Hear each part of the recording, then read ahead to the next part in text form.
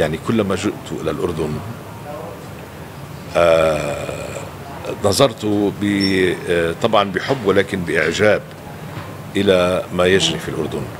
هذه النهضة الجميلة هذا التطور هذه النظافة آه، يعني هذه ال- الدولة التي تبدو معالمها كيفما توجهت وكيفما ذهبت. يعني بتشوف هذه الواحة الناصعة في هذه الصحراء القاحلة حولنا حول الأردن عندما ترى آه، كل آه، ما يجري حول الأردن آم، هذا ال- آه، التلبد هذا ال- المناخ القاتم هذا المناخ القاتل أحيانا المدمر عندما تنظر إليه وترى الأردن تقول الحمد لله أنه لا يزال لا يزال عندنا أردن لا تزال عندنا عمان. الله يحمي هذا البلد الله يحمي شعبها من كل قلبي بقولها والله يوفق آه، المسؤولين. جلالة الملك آه، له دور عظيم في هذا التوجه وفي هذا آه، لأنه لأنه بتعرف بدي أقول لك شغلة بتعرف أهمية الزعيم أو القائد ليست كيف يزج بشعبه وبأمته. إلى الحروب وإلى الهلاك. ولكن أهمية القائد دائما هي كيف ينقذ شعبه من الحروب ومن الهلاك. بعدين آه، يعني صحيح لم تعجب مواقفي لم تعجب بعض الأنظمة. ولكنها في الحقيقة أعجبت ولاقت صدى إيجابيا عند معظم الناس. معظم الناس في في كل الدول العربية.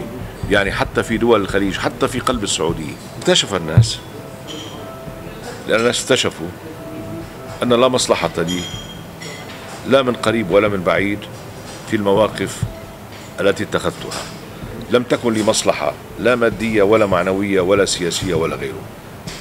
أنا كنت صادقا في طرحي كنت صادقا في التعبير عن مخاوفي كنت صادقا في التعبير عن انتماء القوم العربي. وما قلته قبل خمس سنوات أصبح للأسف واقعا اليوم في سوريا وفي غير سوريا. فإذا أنا اليوم كثير من المعارضين السوريين الذين انتقدوني من خمس سنوات اليوم والتقيت العديد منهم يشيدون بموقفي ويقولون أنت كنت على حق نحن كنا المخطئين. حبة يعني كل علاقة اللبنانيين بالأردن ومثل كل علاقة الأردنيين بلبنان. يعني نحن نعتبر نفسنا شعب واحد على مر التاريخ. يعني منذ زمن الله يرحمه الملك حسين وفي عهد الملك عبد الله الله يطول بعمره آه، دائما لبنان كان آه، بدك تقول الوطن الثاني للبنانيين يعني نحن أبناء بلاد الشام تربطنا آه، روابط كثيرة. آه، روابط أحيانا عائلية روابط آه، آه، ثقافية روابط آه، اجتماعية روابط تقليد يعني آه، آه، لغتنا متشابهة آه، أذواقنا متشابهة مأكولاتنا متشابهة عاداتنا متشابهة. لذلك آه، آه، يعني آه، هذه هي بوتقتنا هذه هي منطقتنا. وأنا بالنسبة لي الأردن هو وطني الثاني كان قبلا وهو اليوم وسيبقى دائما وأهل الأردن الأردن أعتبرهم دائما أهلي. دولة وعندك الإعلام شبه الحر. بقى والله يساعد الجهتين يعني زملائي الإعلاميين سواء كانوا في هذه الجهة أو تلك قول الله يساعدهم.